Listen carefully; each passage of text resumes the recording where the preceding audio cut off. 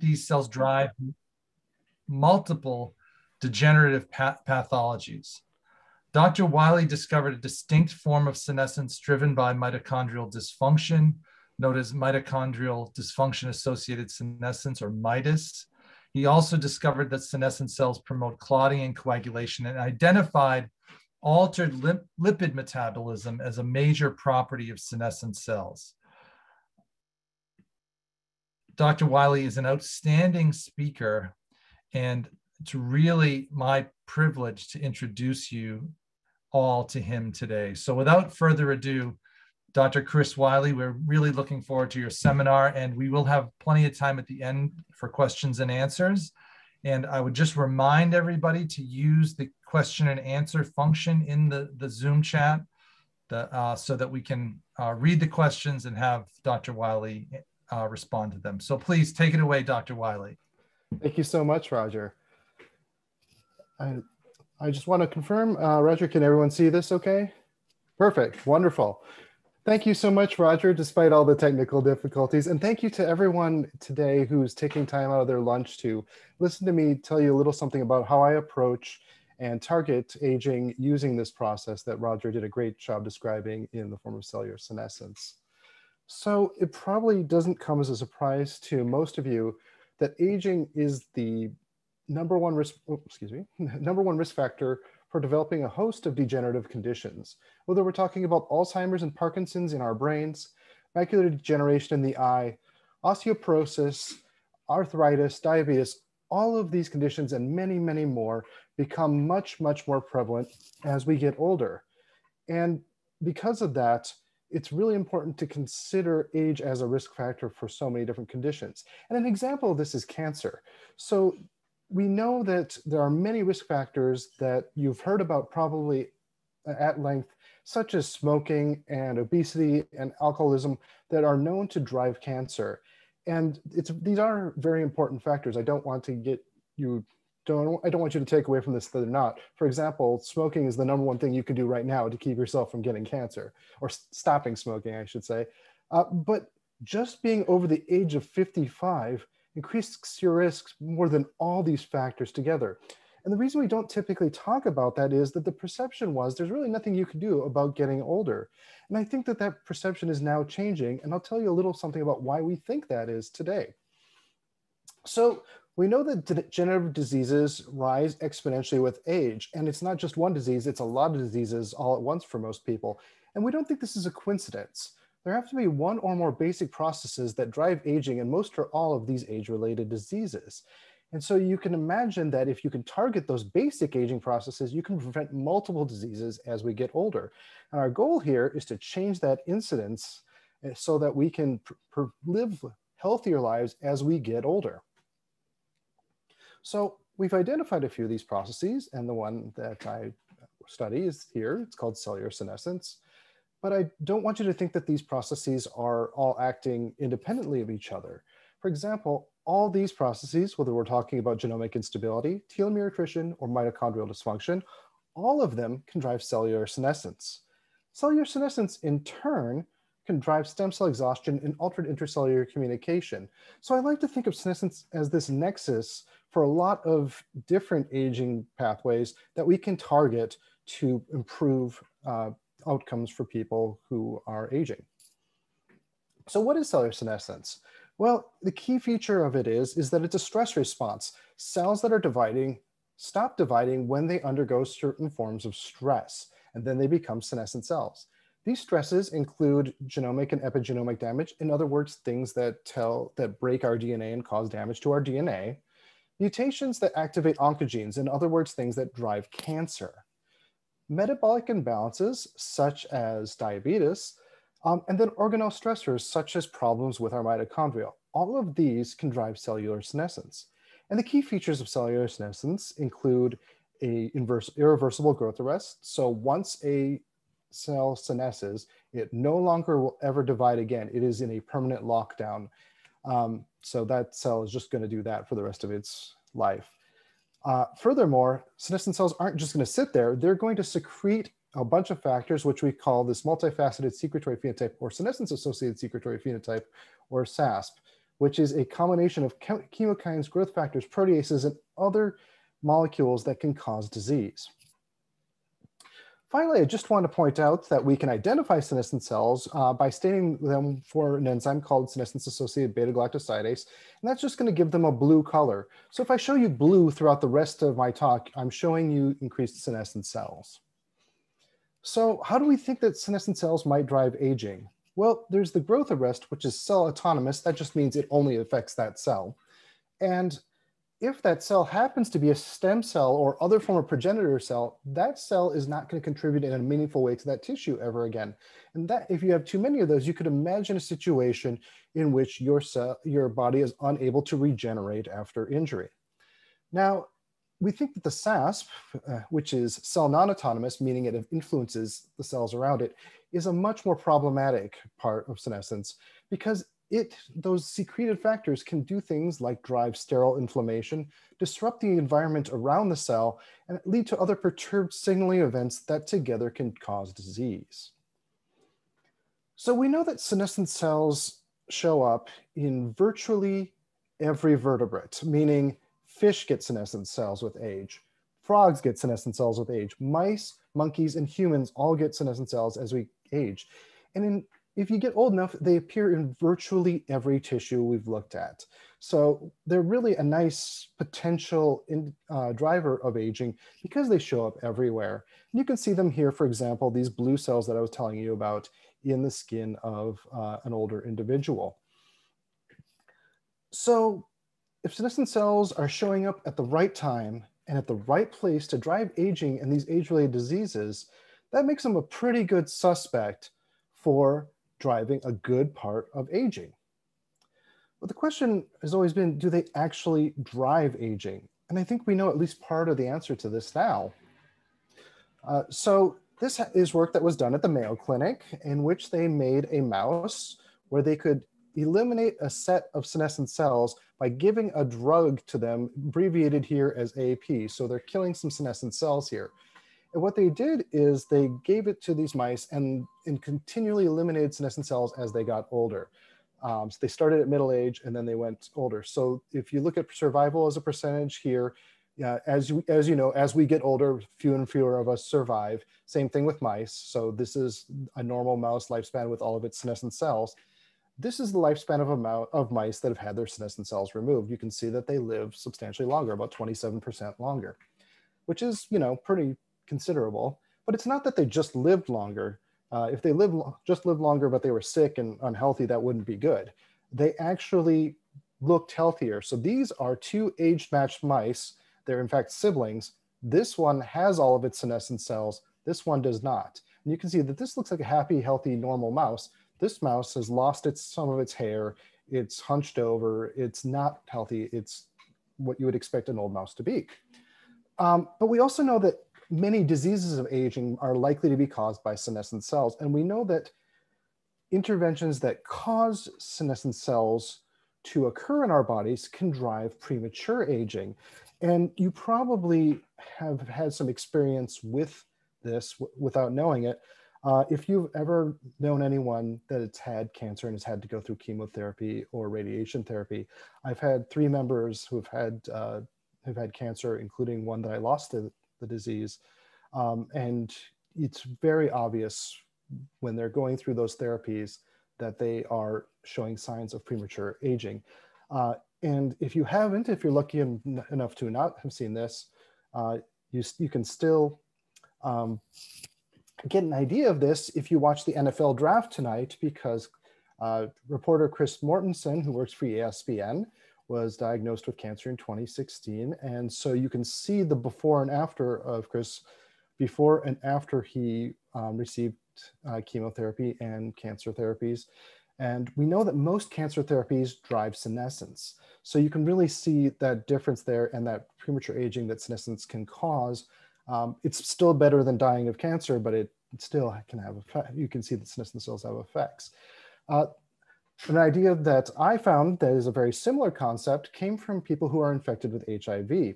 So as you probably know, HIV is the virus that causes AIDS. So if this is the general lifespan of people who are not infected with HIV, and this is the lifespan of people who are infected with HIV who do not receive treatment, you can see, generally speaking, at some point they develop AIDS and they will die and their lifespan is severely decreased.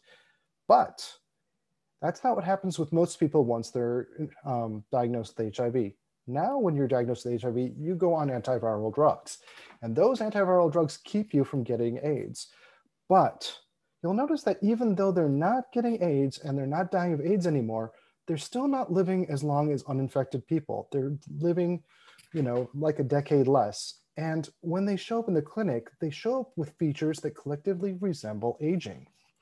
And so I wanted to develop this uh, as a potential model for aging in mice. So I uh, treated mice with a combination of HIV drugs known as tenofovir and emtricitabine or TDF and FTC. Uh, we, this is sold to people under the brand name Truvada, and it's used for pre-exposure prophylaxis, which is to say that people who are not infected with HIV but may become infected, say if you're the spouse of someone who's infected with HIV, you would take uh, PrEP um, and you would then be resistant or would not uh, acquire HIV. And this is, uh, you can probably see commercials for this. If you've ever seen a man get up and say, I'm on the pill in a drug commercial, that's Truvada that they, they were marketing there. And you can see that after a, a about eight weeks, which is actually years in mouse time um, compared to humans, they actually uh, age prematurely. So these are age matched mice, but one of them was, treat, was being treated with an HIV suppressive therapy. And you can see also that human cells treated with this therapy also become senescent. Again, that blue in color indicating senescence. So the bad news is senescent cells cause or contribute to a large number of age-related conditions, including Alzheimer's and Parkinson's disease in our brains, atherosclerosis and cardiovascular dysfunction in the heart and surrounding systems, uh, cancer metastasis and recurrence, chemotherapy side effects, as well as HIV therapy, including things like blood clots uh, and fatigue. Uh, by the way, anything in red here is something I've actually personally worked on. Uh, in our eyes, senescent cells drive cataracts and retinopathy. They are also responsible for both driving diabetes, but also diabetes complications. Uh, they drive pulmonary fibrosis and osteoarthritis and osteoporosis. So a large number of different age-related disorders. And by the way, this list is no longer up to date. We just can't keep up with the number of diseases that seem to be driven by senescent cells. It seems like every other month there's a new one that's discovered. Uh, but senescent cells aren't all bad. I don't want you to think that they're just a bad thing uh, because in context, they show up at the sites of wounds and they help us heal our wounds. They also are required for uh, normal embryonic development and they send the signal that initiates live birth or uh, causes women to call, go into labor. So you wouldn't want to use a senescence targeted therapy if you were recovering from surgery or if you were pregnant um, for relatively obvious reasons. But the good news is we can actually intervene in senescence-driven pathology. Uh, most of this work is done in mice, but we're starting to uh, work in people as well. So there are a form of, of compound called senolytics. These are compounds that kill senescent cells. And one of the first ones that was discovered is called fisetin. It is a flavonoid and it's found in strawberries. Uh, this is not something where you could take a couple strawberries every day and get a dose that would kill your senescent cells. This is something where you'd have to eat a ridiculous number of strawberries to do this. Uh, so don't try it. Uh, but you can see that mice that are given fisetin, these are prematurely aged mice, have less blue staining, again, blue in this case indicating senescence, um, than mice that are given a control diet. On top of that, if they give mice fisetin at middle age and ask how long they live, they fisetin fed mice live longer than control mice. So this is kind of not just fisetin, but the entire senolytic idea has really resulted in the development of a billion dollar industry now. There are many, many, many companies. I think somebody tried to tell me over 100 companies in the senolytic space now. Um, this is a major focus, uh, and this is kind of the next revolution in drug discovery right now. Uh, so it probably doesn't come as a surprise that I'm working on this as well. Uh, so what I discovered was that there is a specific fatty acid that is made in small amounts in our body. It's called dihomogammalinolenic acid or DGLA. Um, but you can only get in small amounts in the diet. But if I increase those amounts by giving mice, aged mice, uh, large amounts of DGLA, you can see that they go from having quite a few senescent cells, again, that blue there indicating senescence, to fewer senescent cells. And then if I compare aged mice that have had DGLA with mice that have not, and we look for senescence, again, blue, uh, in that fat, you can see that they have almost no senescent cells relative to the fat of age matched mice that have not had DGLA. And the same thing happens in the liver as well.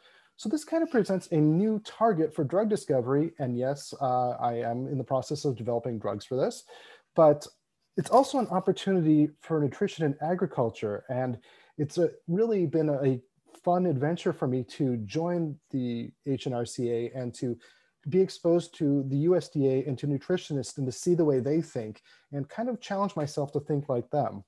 Uh, and in the process of doing this, I discovered that people were developing DGLA enriched soybeans. And so, DG, so soybeans make a large amount, uh, over 50% of their oil is linoleic acid, which is a precursor of DGLA, but plants can't really convert it all the way into DGLA. So a researcher, Xiaobin Zhang at uh, North Dakota State University, uh, added a couple of enzymes to these plants to make it, make it so that they make DGLA enriched oils. Um, so I'd invite you to think of a future where you go out for sushi and you get that little bowl of edamame as, a, as an aside there. And by the time you're done eating that edamame, you've eaten enough uh, DGLA that you've, you've uh, prevented yourself from getting some age-related pathology. I don't know if it'll work that way, but it's an idea we're working towards. So there is a problem with senolytics, which is we don't really know that they're working very, it's, or it's very difficult to know that they're working. And for the reason, one of the reasons for this is, like most of aging, it takes months to years to know if you're having an effect on something like that. And senescent cells are no exception to this. So if you want to know that your senolytics are working, uh, there's only one way to do it right now. Uh, and that's what they're doing at the Mayo Clinic, uh, which is that they will give, they will take a biopsy, so a carve a piece of your skin. that sounds more brutal than it is. It's a surgical procedure. They'll remove a piece of your skin or your fat before you get a senolytic. Oops, excuse me. Or after you get a senolytic, and then they just test for markers of senescence there. Now, as you can imagine, this is time consuming, it's painful, and it's invasive. This is not something that we would want to do for people across the world. So we had this question that what if there was a simple test we could use to demonstrate that a senolytic is working?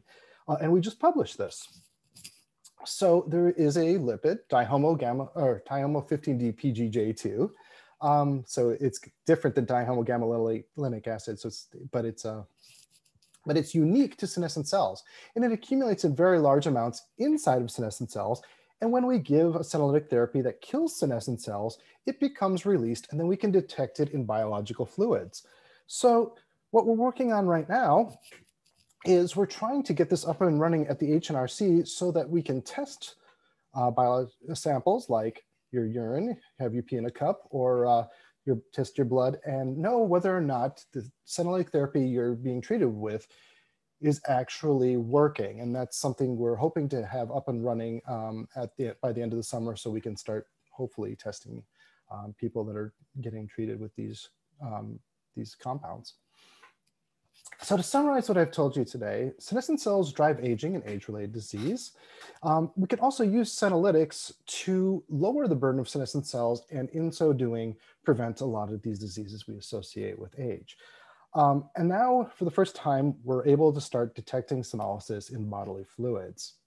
Um, this is a very rosy picture I painted for you. Um, there are some caveats to this, and I think it's important to always acknowledge these. The first one is, of course, that senescent cells are sometimes good. I told, talked about senescent cells being important for wound healing. So you could imagine a situation where you wouldn't want to ha have senolytics used. Uh, also, almost all these disorders were detected or were characterized in mice. We know that senescent cells promote a lot of diseases in mice, but it's not clear that they'll all work in people. Probably some of them won't, but almost certainly at this point, when you've got 30 or more diseases, some will.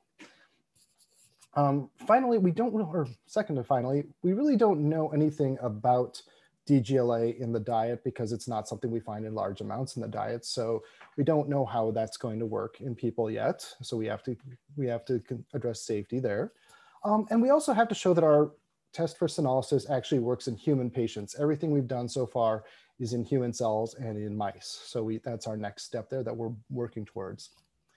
Uh, with that, I'd like to acknowledge the various people that made this possible. Um, the Buck, at the Buck Institute, Judy Campisi was my former advisor, and I initiated the um, biomarker project in her lab, uh, teaming with Arvind Ramanathan.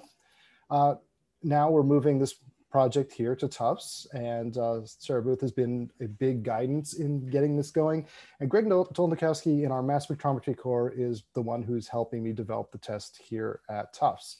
Uh, with the soybean project, uh, Mike Grusak at the USDA in Fargo was the one that introduced me to Xiaobin Zhang so we could start this, that part of the project. And finally, my funding right now through the USDA and also through the Tufts Healthy Aging Initiative. I'd like to, with that, I'd like to thank you for your attention and I'm happy to take any questions you might have. Well, thank you very much, Chris, for a really stimulating presentation about your work in senescence and, and aging. Um, so if folks have questions, uh, please submit them through the Q&A and we can we can answer them. Um, maybe maybe one thing I, guess I would just sort of ask. Oh, here we go.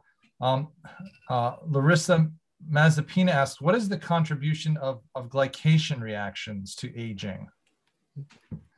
Oh, that's a really complicated question. So uh, I think Alan Taylor at the HNRC is actually a better expert in that than me. Uh, having said that, I actually have done a little tiny bit of work in glycation and senescence, and we do know that uh, ages do seem to be associated with senescence. The relationship is barely explored. Um, I've done the work mostly with Pankaj Kapahi at the Buck Institute, and he would be a better person to talk to than me.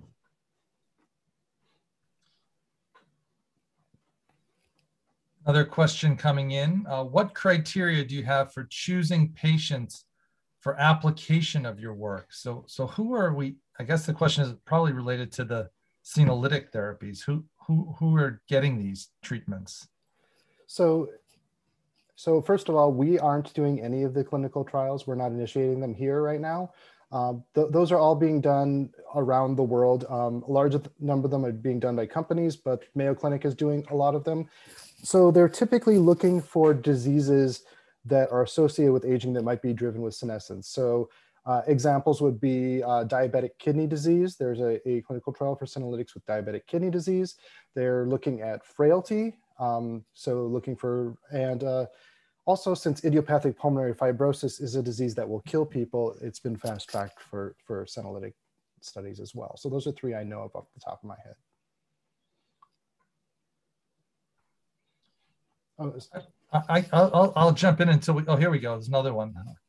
Can you discuss the relationship between senescence and diet, e.g., perhaps like anti-inflammatory diets, and and also I guess my favorite topic, regular exercise. Someone asked about too. So, yeah. but uh, yeah, so so exercise actually is a good way of fighting off uh, senescence. Uh, so that's that's absolutely uh, known at this point. It's not super great. It, it works. It works in mild, mild amounts, and it seems to mostly, um, it seems to be good for the health part of senescence, but doesn't seem to be as good for the lifespan part. So, so, so exercise is a little weird in that it, you see more lowering of senescence associated secretory phenotype markers, but not so much a lowering of the number of senescent cells, if that makes sense. So there are probably other parts of senescence that, that can cause problems still. But I, you know, the number one thing you can do right now to live longer is to exercise. So it, it's certainly something I would, it's the one thing I'll advocate right now without any question. Yeah, and we get a follow-up question from Ken Tatum, but what implications does all this work have for, you know, changes in behavior that people can do now? And I guess your answer is in part that, you know, there is some link with physical activity and exercise yep. and, and, maybe other behaviors that you know right and, and quitting think, smoking but but but I, I, think in the next yeah quitting smoking is an obvious one right um, the big things right now are you know don't contract HIV, don't get cancer. Um, it, it, sounds bad, but it, those are really things you can do to kind of prevent the premature aspects of aging through early accumulation of senescent cells. We're still in early days here. Um, dietary um, intervention is still really in the beginning. And I'm actually really excited to be here at Tufts because I actually can do that kind of work here. Um, so hopefully we'll be uh, giving you some information on that in the next five to 10 years. So Bing Wang asks, anti-aging has been studied by many institutions around the world for decades. Do you expect any FDA approved therapies to become available in the near future?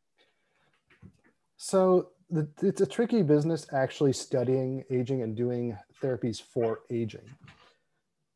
It's a lot easier to come up with a therapy for an age related disease because this is kind of the way our medical establishment exists, right? It's kind of one disease, one treatment. Um, so most of the interventions that um, the, the, the, kind of the process for FDA um, deregulation for these things is for diseases. So what people are doing with senolytics is they're testing them for individual diseases, even if they might have broader implications for aging. Uh, it's the same thing with metformin, right? We think that metformin's very likely to be able to do to uh, extend people's lifespan, but we're really all of our data comes from diabetics because you know the only people that are going to get metformin are going to be diabetics. So it's it's still we don't have a structure right now for testing aging, and they're they are um, developing this. The targeting aging with metformin trial or TAME trial is the first example of this. I invite people to uh, to look that up. It's TAME um, and just TAME and metformin, and that is the kind of that's going to be the first step towards figuring out how we're going to to to create a world where we can use aging as an outcome for medicine. Great. Uh, our friend Johanna Dwyer asks, Tufts has a vet school. Is anyone doing work on senolytics uh, at the vet school or in pets or animals? Uh, yeah. Maybe I can get them to. I, it's a great idea. Uh, not that I'm aware of. Um, I would be very excited for this. Um, I, am literally a, a, few days away from uh, having lost my own cat to cancer. Um, so I would absolutely love to be able to uh, to you know help people's pets, and I think that would be a great way of going with things. Um, yeah, I'd love to be able to talk to them about that. Um, the pandemic makes everything a little bit trickier, but uh, down the line, I would absolutely love to do that. Great. Larissa Mazepina asks, what is your opinion of using NAD metabolites for slowing aging? So um, I've actually done some work with uh, NAD metabolites uh, for my for my own um, research, and actually, we do have some relationships between them and uh, senescence. They're probably fine. um, the results so far in mice are pretty good, um, and there's no reason to think that that they're going to be worse. There's one paper that studies it in senescence that shows that NAD, uh, nicotinamide mononucleotide, uh, which makes NAD, um, is actually increases the SASP in senescent cells.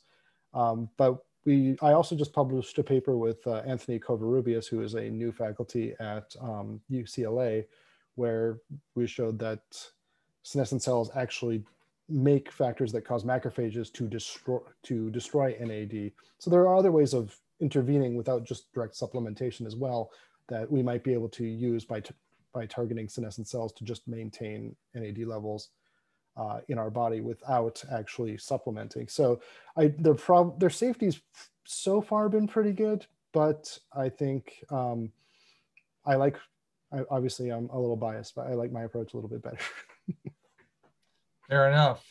Uh, Kayla Butera asks, when the mice in your experiments were treated with DGLA, were the lowered levels of senescent cells maintained?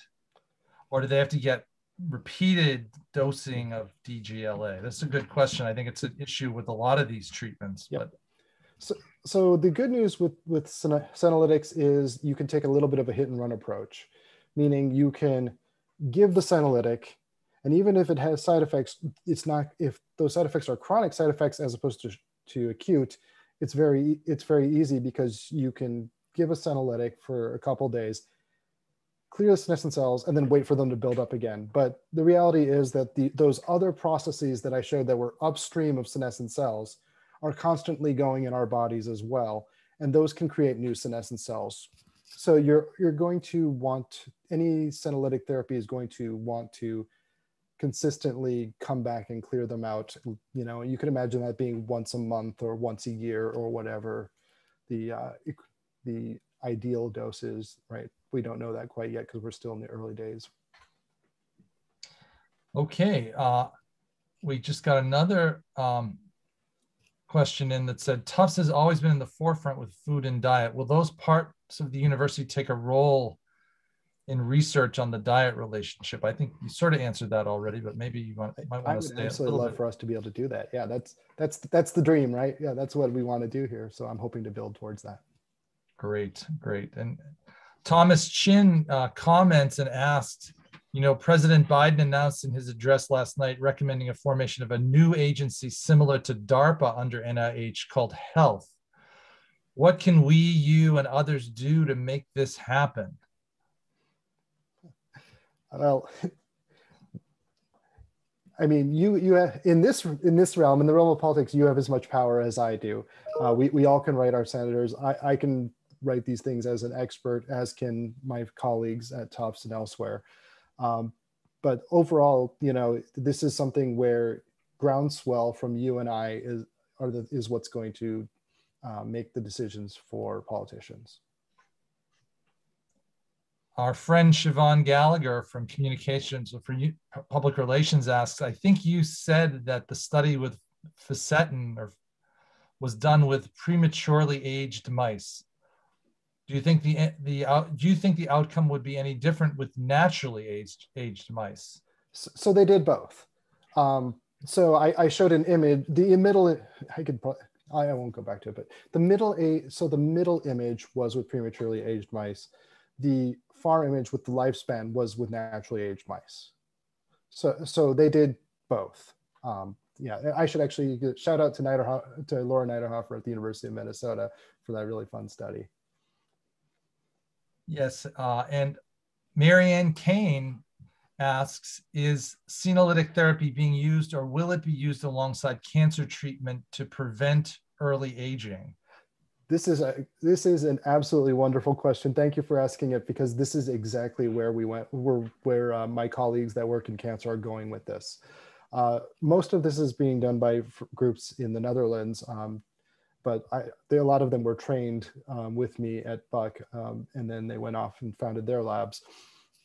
This is actually a focus of a, a lot of people because um, some of the people that are pioneering this actually lost family members to cancer and actually watched firsthand, much like I did. So they, they're very passionate about this and they're also very good scientists, which helps immensely. And absolutely, this is the exact plan is th th there's a kind of a mild revolution right now in the cancer field where one of the ideas is to give therapies that cause cancer cells to become senescent and then eliminate the senescent cells to get rid of those cancer cells. And, and, this is something that they're pushing very heavily. So about a third of the talks you see at any senescence meeting are on cancer right now.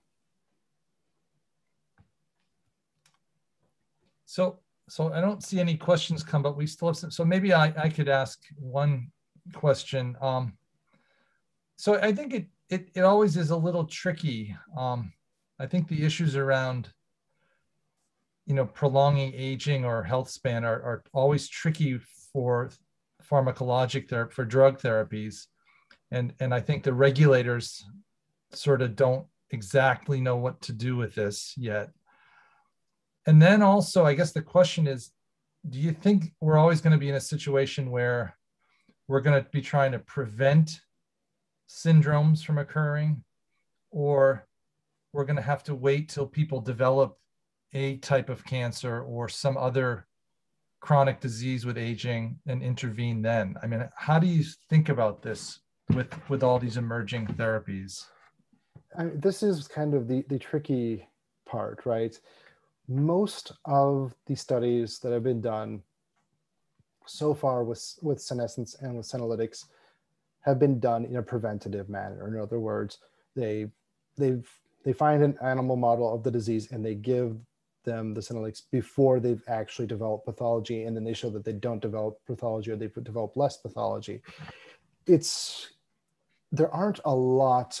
Uh, there's a lot more prevention out there than there is cure right now, um, and we might just have to settle for stopping the disease in its tracks or, or you know slowing its progression uh, rather than reversal. But uh, which is an area I think where nutrition is better than uh, than pharmacy at this point. If, if we're being really honest about it, you know, nutritionists all we do is prevention, whereas um, whereas people in pharmacy are often looking for cure. Uh, so this this is a tricky thing to consider. I think I've seen a couple studies that have suggested that there can be some curative effects with senolytics, but uh, it's still early days. I mean, this is a field that has existed for five years. So we're, we're, we're talking a very short period of time. We don't have all the answers yet. Yeah, I, I think the excellent points, Chris. I think, you know, from someone that's looked at therapies for things like sarcopenia and senescence, if you're trying to prevent something from happening, the, bar will, is set very high by regulators like the FDA for safety because many of these therapies would have to be given for very long periods of time to people. So, you know, the safety issue sort of starts to become really important rather than when someone has a, a life-threatening or, or a life-ending disease where you you you sometimes can sacrifice some some some of the safety profile because because there's no other way to treat or or or, or you know or to, or to treat the disease. So, so yeah, it's a really, these are really complicated issues. So we've got some more questions from our, our audience. So let's, um, let's go on here. Dr. Uh, Galanopoulos asked, are you finding any connection between senescence and specific aspects of the microbiome? Uh, so this is an area I have not worked on. Uh, uh, I'll, I'll, give another shout out. Uh, there's a researcher in Japan, Eiji Hara, who's done some of this. Uh, I can't remember. I think his results were actually that he was able to modulate liver senescence by having different gut my, micro, microbiota. I don't remember which ones did what or whatnot. This is actually kind of a, an area that I'm just starting to learn about now that I've matriculated here to the HNRCA because I get to see talks on the gut, gut microbiome now. And I, I discover that you know these things we can almost look at the microbiome as a little mini factories for making all sorts of interesting things that can help us in our stomachs. And i had no idea um, about this before i actually started in this field. So maybe down the line we'll be doing some of that work. Great great. So richard alpert asks is there any evidence supporting uh, quercetin mediated apoptosis of senescent cells and or, or any other roles for for quercetin or quercetin. I never know how to pronounce it. Yeah, that. so actually quercetin was actually discovered bef- uh, as a senolytic before fisetin. Um, it's often given, the trials right now are actually with quercetin and a um, another compound, dasatinib. Um, dasatinib is not my favorite compound because it's got some pretty nasty side effects. And uh, the thing about both quercetin and fisetin is that uh, we don't know a lot about how they function. We know they do a lot of different things. And with non-targeted small molecules, you always worry about the side effects being a problem, especially with something that would be chronic, that's a chronic type treatment. So this is always something to consider. I mean, these are, we're talking first generation, first molecules discovered. Um, they're never gonna be the optimized one for actually getting into people. Yes, excellent, excellent points. Um, uh, so I don't have any additional open questions. So I do think at this point we will. I really want to thank everyone for attending. I think it was a really good, excellent presentation and really good question and answer session. I I learned a lot, and I really appreciate the the time you put into preparing your seminar and talk today, uh, Dr. Wiley.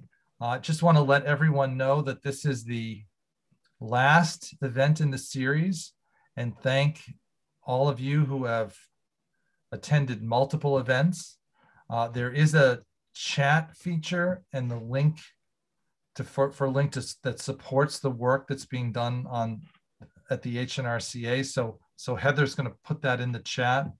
So people, if people are interested in considering ways to support this really important work that's being done by, by Chris and others at the HNRCA, that there is an opportunity to do that. And we always are grateful for support and, and, and welcome that.